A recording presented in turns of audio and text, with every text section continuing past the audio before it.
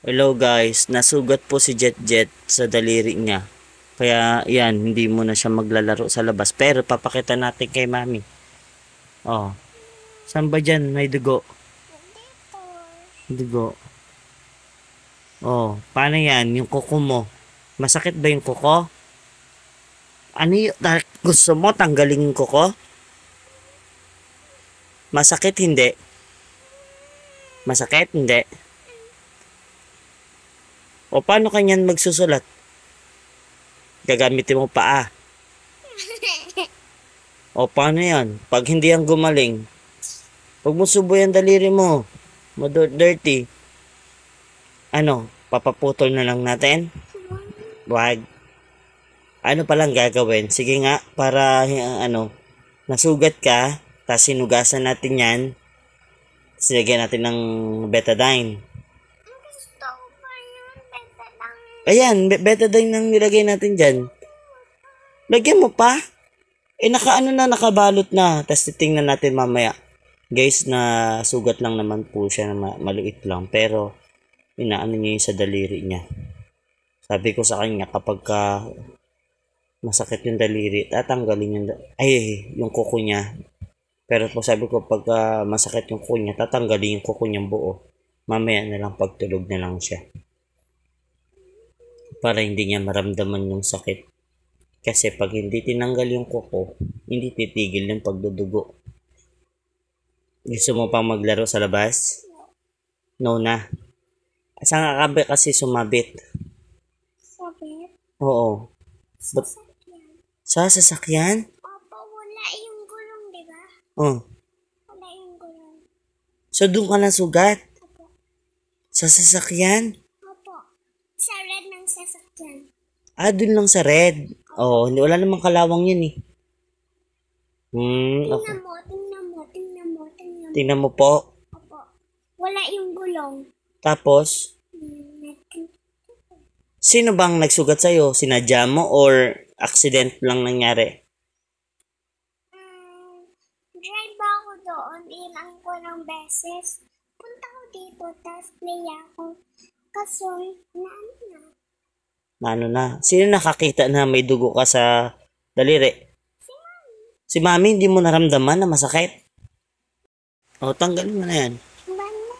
Ano, tag dito, hindi ka na maglalaro sa labas. Hindi na. Hindi na. Is, ah, pahinga ka na lang muna. Tapos mamaya, nak, mamaya, huwag mo susubo yan. Ha? Nadeda ako kasi. Huwag mo lang yan.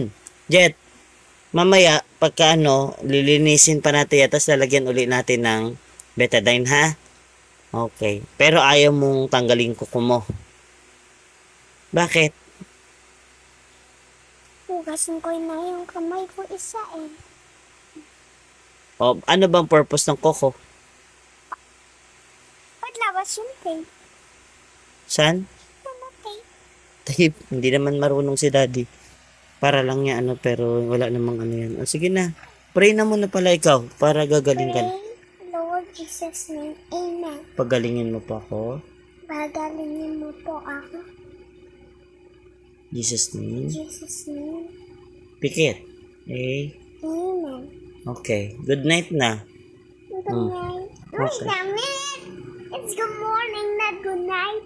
O, eh, kaya kahit na, kahit na good morning, matulog ka na lang muna para yung dugo, ano, oh. O, yan naman, wala yan talaga, ganyan talaga mangyayari sa'yo. Kaya nga ayaw ko ta pinapalabas.